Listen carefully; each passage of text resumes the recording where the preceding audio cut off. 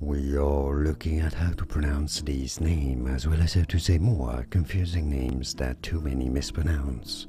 So make sure to stay tuned to the channel. For reference in French, it is said as Delevingne. In English, Delevingne, de Levine.